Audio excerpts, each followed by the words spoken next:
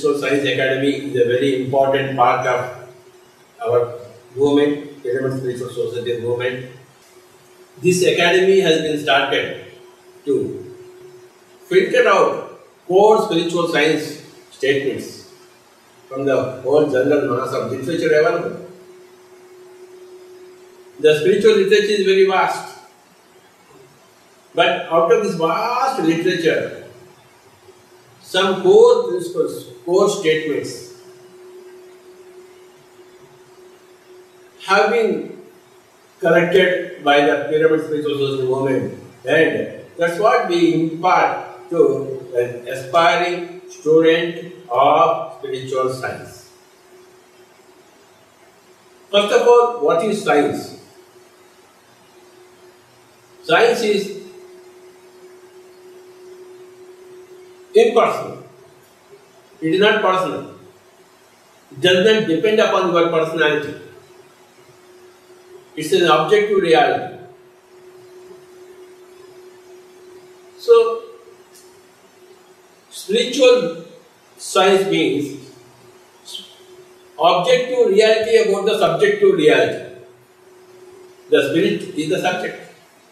Now I am speaking and you are listening. I am the subject speaking and you are the subject listening. Okay. Now, science is the objective observation science. Spiritual means subjective, the source. Now, spiritual science means objective realities, objective analysis about the subjective realities. That is the spiritual science. How I feel, how I think, how I move, what impact it has on me, how I speak has an impact on how I speak, how I think has an impact on how I think. Okay. How I eat is again ha- having an impact on how I eat. Understand? Supposing I am eating more now, so much, then it has an impact on my eating tomorrow. Tomorrow I cannot eat anything. My system is out of control. So I have to fast. Why I am fasting tomorrow? Because I have overeaten today. Indigestion. Right? So, how you eat impacts on how you eat in the future. What you think now impacts on the what you think future. What you eat now impacts upon what you are going to eat tomorrow. If you eat chicken and mutton today, tomorrow you are going to be spoiled. Okay. So, what you speak now will change what you speak tomorrow. The friends that you are keeping today will impact on the friends that you are keeping tomorrow.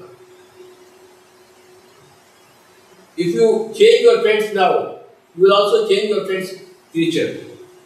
Everything, what you do in the present, impacts on your future and creates your future in that particular direction. So these are all laws, objective laws. What you think, what you do, what you eat, how you sleep, how you think, all these things they change your future speech, future thinking, future mind, future body, future life, future realities. So, event formation has got strict laws. So these life events, life uh, uh, experience, they're all uh, objective uh, realities. As much as any physics or any other subject is objective reality, engineering, the subjective science, the life science is also an objective reality and it is available for analysis and uh, experimentation and uh, uh, deriving out universal laws of that. So all those universal laws which have been obtained by analysis and experimentation, the scientific method, applying with the scientific method to the subjective systems, that is spiritual science. So, here we make this spiritual science revealed to school boys, college boys, school teachers, college teachers. That is the essential idea of the Pyramid Spiritual Science Academy. To educate the school teachers, to educate the college teachers, so that they in turn educate the, their wards, either in the school or in the college. Here, you have to understand the core spiritual science statements and ruminate upon them and practice them in your day to day life so that you will understand the universal truths about spiritual science. If you speak unscientifically, then you will gather people who are equally unscientific around you.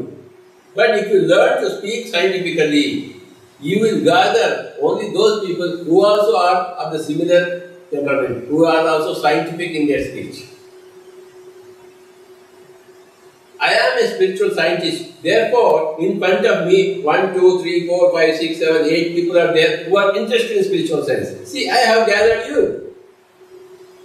Through the way I live, I gathered this set of friends. Had I not been interested in spiritual science, do you think would you be here? No way. So I have attracted you. Like attracts like. This is a great spiritual science principle. There are many spiritual science statements.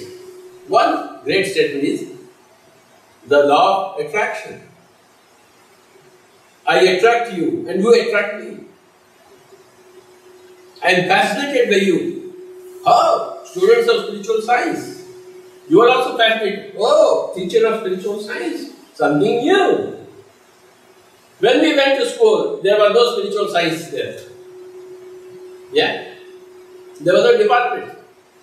There was no spiritual science. And you can see the result in the lives of people. They go to the school. They go into the college, they come out of the college, they go into business, they go into life. But there is no spiritual science, so everybody is unhappy, everybody is miserable. Everybody is ill, diseased. They commit suicides. They commit murders. They spoil the environment. They spoil the ecology. They spoil the harmony between people. All because they are not exposed to spiritual science. The teachers in the school, the teachers in the college, they don't know what is spiritual science. How can they tell others? But this pyramid spiritual society movement for the past 30 years has been working very hard to collect all the core spiritual science statements from all the spiritual scientists of the world, both ancient, medieval, and modern. For example, Vedavyasa is an ancient spiritual scientist. Guru Nanak is a medieval spiritual scientist. Barbara Marciniak is a modern spiritual scientist. They are all spiritual scientists.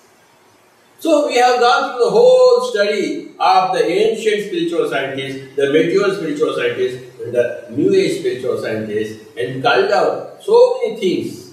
And we present them in a very simplistic way to all the academies, the school and the college, especially the teachers, so that they understand and they in turn impart this to their wards. I'll give you some quote statements. One of the quote statements is like attracts like.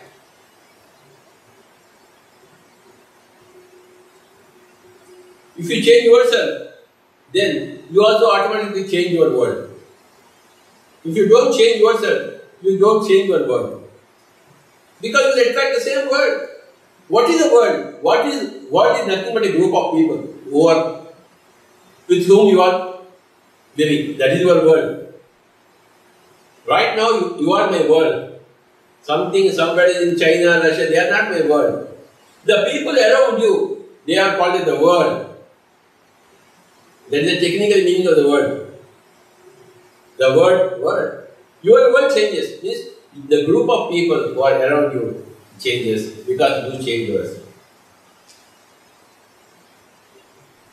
If you want to learn music, then automatically you will go into a circle where all people love music. If you want to love history, want to do research in history, then you will go into like-minded group. If you want spiritual science, again you are attracted to a, a group where everybody is interested in spiritual science.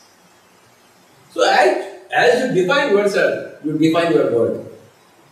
As you change yourself, you change your world.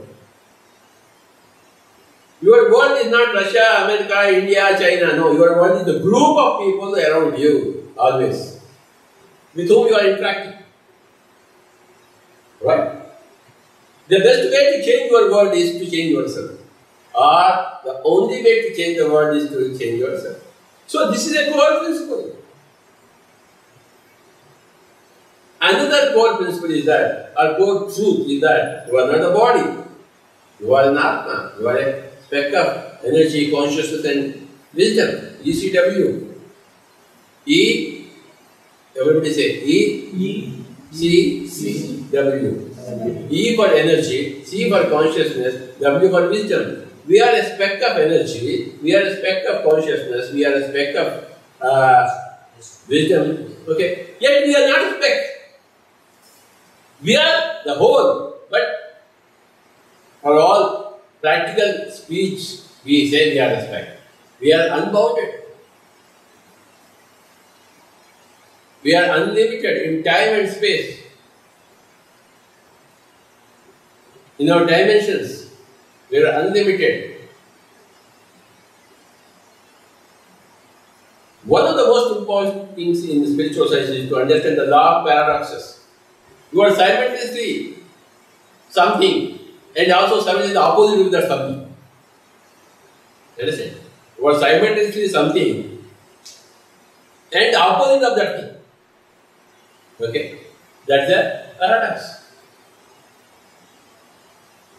So the law of paradoxes, there are many, many such truths which you have to understand in spiritual science, which takes time, which takes training, which takes experimentation, okay, which takes a lot of group activity, group discussion, okay. Then you will understand one by one, one by one, many, many spiritual truths facts. One of the core spiritual science facts is that if you harm others, you will be harmed. If you help others, you will be helped. This is the law of karma. If I help you, then somebody will help me, not necessarily you will help me. I will receive the help from somewhere else. I give you help, and I will certainly receive help from either from yourself or from some other quarters, which is equivalent to the help that I have rendered to others. This is the law of karma, which is a grand spiritual science people act as if uh, there is no rule or law or principle in human affairs or in the affairs of the nature. Very funny. Very, very funny. All people who do not learn spiritual science are very, very funny. It is the other way of saying that they are idiots. Civilized way of saying that we are very, very funny. Scientific way of saying this, are idiot, that's.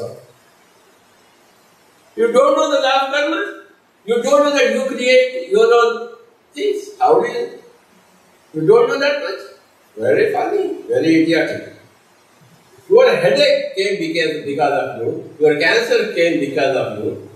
Your enlightenment will come because of you. Your health will come because of you. So this is our karma. What you do comes back to you. Multifold. This is the law of karma. Another law is that every experience adds to your fabric of the soul. You are a soul. And every experience gives you a richness of the soul, which differentiates you from all other souls. Another spiritual science fact is that there are innumerable number of dimensions, innumerable number of galaxies, innumerable number of planets and life systems. Earth is a small one. So all these things. And we take birth many times. And we choose our own life pattern.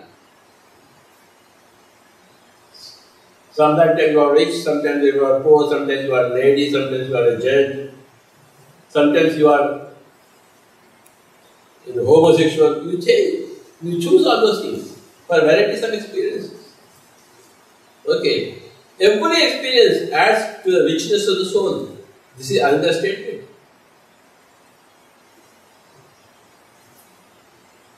No experience is discounted compared to any other experience, excepting killing others where there is no self-defense is involved.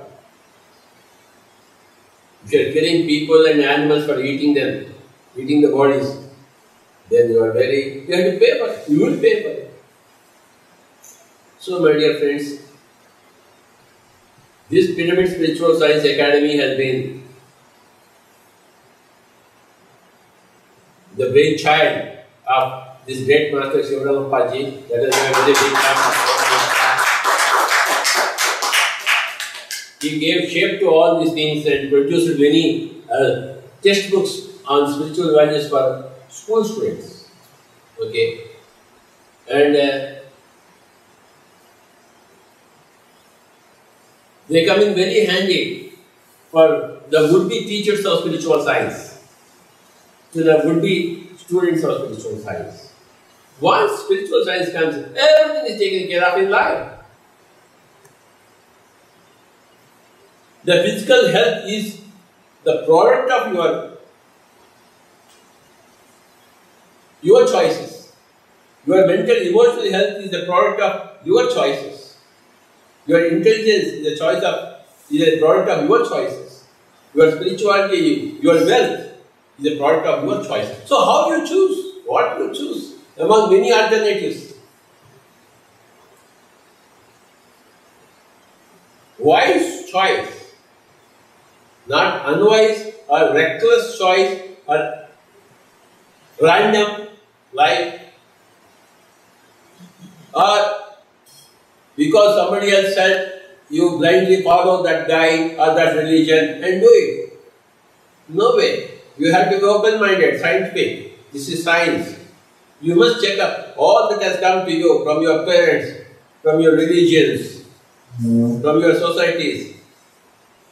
Okay. You should use your personal intelligence to check out every statement. If you are a merchant of gems, when somebody takes, okay, Swamiji, you take this gem and give me $1,000. First of all, we say, okay, you stay here, have a nice cup of coffee, it takes half an hour. So you test the gem, whether it is gem or not. If it is not a gem or it's some fake material, immediately you will give a call to the police. Then he say, some more cashier also you will just stay for 15 more minutes. I will give you your thousand dollars. Because it's a very nice gem, perfect gem. Just stay. Okay, cashew drink cashew nuts. But Cashew will come, not come, only police will go there. And they'll catch you. See, you are selling a fake product. So, the facts that given to your given to you by your parents or society, are they fake or are they genuine? Are they just belief systems or are they spiritual facts or existing in the fact? You must check up. That is scientific temper. You must check up each and every statement. And who will check up? An expert on gems will only check up. So, this expert on truths, spiritual principle is spiritual scientist. For example, one great spiritual scientist called as Jesus Christ said, I and my Father are one. Where is your Father? My Father who is in, who art in heavens. And I and you are one. He has create, He has shown many miracles to people. Out of five loaves of uh, five uh, bread pieces, He has distributed to five thousand people. Yes or no? Then how did He do it? If He has done it, why can't we do it? If you believe that He has done it, there are two things. Either don't, don't believe Him or believe Him. If you don't believe, forget that matter fellow. But if you believe that yes, He has done that miracle, then why can't you do it? You must find out from Him, hey Jesus, how did you do it? You teach me that. He will say, Swamiji, I have done that because of my meditation energy. Then you will put him a question, what is meditation? Okay, sit comfortably, put your hand, close your eyes, and start observing your breathing. Either you don't believe Jesus or believe Jesus, or either you don't believe uh, uh, Veda Vyasa or believe Veda Vyasa. If you don't believe, forget. But if you believe, then that's a science. Then you have to be scientific about it and learn the science. Okay. If you don't care about learning music, don't care. But if you want to care about music, you have to learn from a scientist of music. So, my dear friends, this academy is here to give to go to all the schools, to go to all the colleges, and introduce this as a part of the regular curriculum. To train any number of teachers in this field so that they can in turn teach others. Anyhow, some of the main core principles of the spiritual science are the result is that you must become a vegetarian. You must become a meditator. Then you, you must become a regular reader of all such books. Scientists. You know. So many people have given this wonderful wisdom. You have to study all of them ruminate on them. You know? As you study, you become that. As you listen, you become that. As you think, you become that. As you eat, you become that. What you become is what you eat. What you become is what you speak. What you become is what you listen. What you become is what you study. Right? So, listening is crucial. Reading is crucial. Thinking, making choices is crucial. Doing meditation is crucial. Becoming a vegetarian is crucial.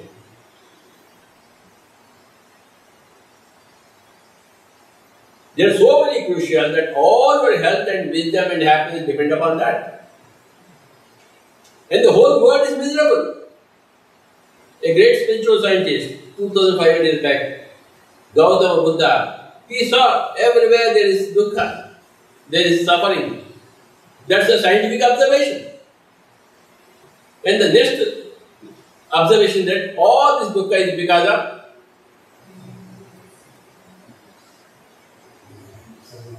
uncontrollable desires. Trishna, your desires are uncontrolled, erratic. Okay, you got no control on your desires. Trishna is that. And the third scientific truth is that your uncontrollable nature is because of lack of education. Avidya. Then you should have vidya, that is education, that is spiritual science. Which education? Spiritual science education. That your views should be perfect, your speech should be perfect, your choices should be perfect, your way of behavior, your, what you eat should be perfect, what you listen should be perfect, what you put your attention on that should be concentration in what are, the way you do meditation should be perfect. There are the eight points. To obtain suvidya, to kick out the avidya in you, so that, your, your desires are very, very controlled, mature, righteous, or reasonable. Then there will be no dukkha, no suffering. When all your speech, all your thoughts, and all your deeds, mainly your eating, they become righteous. You are called a right person. When you are speaking wrongly, eating wrongly, thinking wrongly, you are a wrong person. Another term for being a right person is enlightened. Another way of saying something about the wrong person is that you are not yet enlightened. You don't know still how to think. You don't know how to speak. You don't know how to eat. You don't know how to listen others. You are not yet enlightened. Here, we teach you enlightenment because I am an enlightened person. What does enlightenment mean? I know what to speak and how to speak, when to speak. I know what to eat, how to eat, and when to eat. I know what to think and when to think and how how much to think and when, when not to think. So when you become right and proper in all these departments of your deeds and words and thoughts, you are the right person. You have overcome all the errors or unscientific methods in your speech, in your thoughts, and your deeds. You have become a spiritual scientist.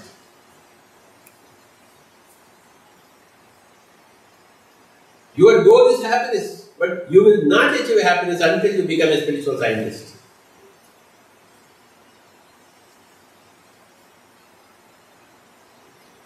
And if you are not happy, you will make all others also unhappy because everything is infectious. Because we are all one organic system, what happens here affects you instantly. When I become enlightened, all those people who come near to me, touch me, they have wonderful gifts of enlightenment. Everything is infectious. That is another great spiritual science law. Everything is infectious. Your moods are infectious, your wisdom is infectious, your ignorance is infectious, your vibrations are infectious. Everything is infectious. It enters your systems unobtrusively. Understand? You don't know, you don't know that something is entering you, but it is entering you from me. And something from you is entering me. Everything is infectious. What happens to you has reverberations all over the cosmos. Of course, direct impact upon those people who are near you, and very, very little on the far off people. But there is there, impact is there. If you throw a small pond, small stone in a pond, the farthest also will have small ripple like this. This is a small stone you put in a pond, and see the effect. It's a very beautiful way of seeing the effect of one instant on the whole. We just put a small pebble in a pond, then you see the vibrations, waves. Everything changes. So when you do meditation, when you increase your energy, when you increase, when you actualize your potential, then you are putting a big, you are changing the pebble, throwing a big stone in the society. So everything changes because of you. The more you do meditation, the more you gather energy, the more you become wise, the more you read books, the more you ruminate on spiritual science core truths, you change yourself, you change your vibrations. It does not impact, natural impact, because everything is infectious. The goal is to become a spiritual scientist. But before you become a scientist, you become a student. A student gathers all the materials A scientist is a person who has digested all those materials. A student is a person who is about to digest all those. He wants to digest all those materials. He collected materials, but he has not digested them. A teacher is a person who has digested all those things. Before digestion, you are a student. After digestion, you are a teacher. You are a master. It takes a certain amount of time for digestion. You must give yourself a lot of time for the digestion to happen. Thank you, thank you, thank you.